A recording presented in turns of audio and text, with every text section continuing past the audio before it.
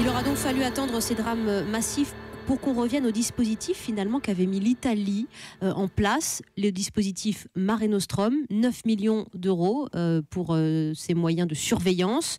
On avait rabaissé ces moyens à 3 millions d'euros, on revient à 9 millions d'euros, tout ça pour ça.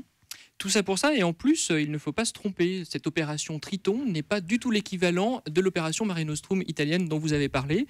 certes, son budget est équivalent, mais la comparaison s'arrête là, puisque bah, parce que Mare Nostrum, c'était sauver des vies en mer, être proactif, aller au-devant des naufrages, presque les attendre malheureusement. Triton, c'est pas du tout ça. C'est dans la limite des eaux 30 000 nautiques, c'est très proche des côtes européennes. Il n'y a pas euh, d'initiative prise pour aller plus loin. Donc, lorsque les navires renforcés de l'opération Triton euh, seront avertis d'un naufrage, ils mettront plusieurs heures avant d'arriver sur le lieu des naufrages. Et nous, dans ce rapport, on a démontré que euh, parce que justement Triton était trop loin des lieux de naufrage, des vies ont été perdues. Ça veut dire avec ce Triton renforcé, on n'aurait pas pu sauver les vies des 1700 disparus des dernières semaines? Vraisemblablement, on aurait pu en sauver quelques-unes, mais par rapport au nombre de traversées qui s'annoncent, euh, elle ne sera pas capable vraisemblablement de faire face. Des réactions déjà dans le studio d'Europe 1 parce que ce sujet euh, émeut et bouleverse beaucoup madame et monsieur.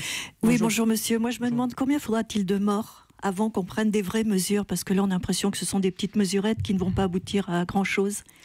C'est exactement la question que nous, Amnesty International, nous nous sommes posés toute la semaine. Nous avons posé euh, sans relâche à tous les dirigeants, tous les contacts que l'on avait dans les, dans les cabinets à Bruxelles, dans les ministères en France, et nous n'avons pas eu de réponse. Et la réponse qui a été apportée au sommet d'hier montre que 1700 euh, euh, morts ces dernières semaines, eh bien, malheureusement, ça ne semble pas suffisant pour décider qu'il faut juste sauver des vies.